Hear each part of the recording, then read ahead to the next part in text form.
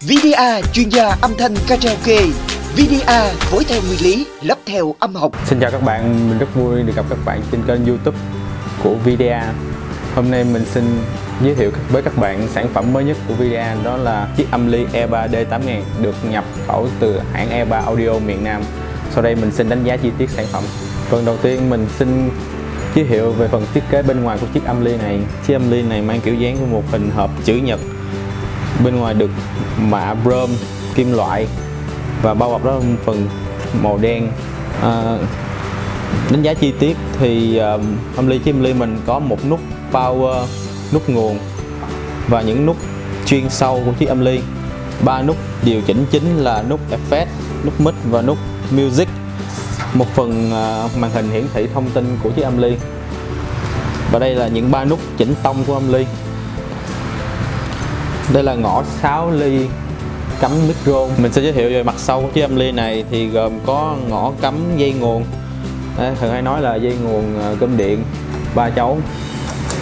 Hai ngõ cắm mic để cho tiện cho cắm mic không bị lộ dây của chiếc âm ly này. Hai ngõ à, tín hiệu vào audio.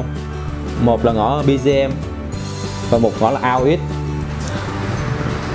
và hai ngõ à, ra tín hiệu của âm ly này một ngõ cắm dây ờ, để mình kết nối và lại máy tính để điều chỉnh bằng ờ, kỹ thuật số cho chiếc âm ly.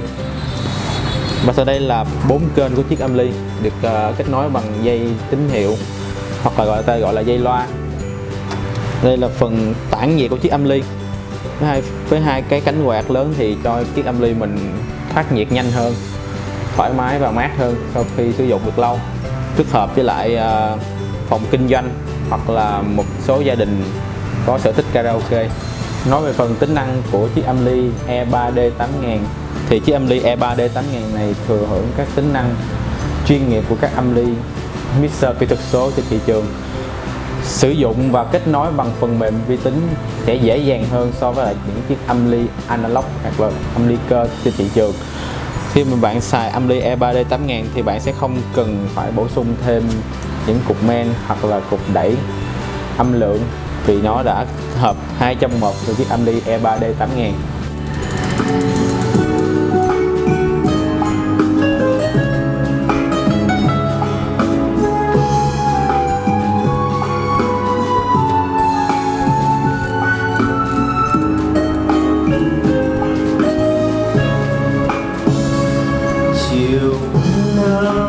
tiến nhau đến khi bóng ngàn sẽ tàn. Hoàng hôn đến đâu đây màu tím dần trong hồn ta muốn không gian đừng tan nếu đôi chân thời gian ngừng trôi giây phút chia ly này kéo dài. Trước khi phân kỳ hướng sao cho tàu đừng đi. Đó các bạn cũng thấy được khi sau khi mình test uh, âm thanh của chiếc âm ly E3D 8000 này thì âm nó ra rất chắc chắn và dày. Khi tăng âm lượng lên cao thì sẽ không có hiện tượng như là vỡ hoặc là gồng âm quá mức. Thì bạn có thể sử dụng cân chỉnh bằng tay trên chiếc âm ly hoặc là bạn cứ sử dụng bằng phần mềm của chiếc âm ly thông qua chiếc vi tính của mình. Phần mềm đó của phần mềm âm ly E3D 8000 thì sử dụng chung với lại phần mềm của K9009 của hãng BF hiện tại. Bên VDA cũng đang bán. Thì ờ, phần link chỉ dẫn của bạn thì nằm bên dưới các bạn có thể vô và tìm hiểu thêm. À, Amly E3D 8000 này không chỉ uh, hỗ trợ cho mình về phần karaoke mà cũng có thể hỗ trợ cho mình về những sự kiện lớn nhỏ. Về phần đánh giá về cá nhân mình thì E3D 8000 so với các sản phẩm khác trên thị trường thì tốt hơn hẳn. Về phần mềm sử dụng thì đơn giản chống hú cao.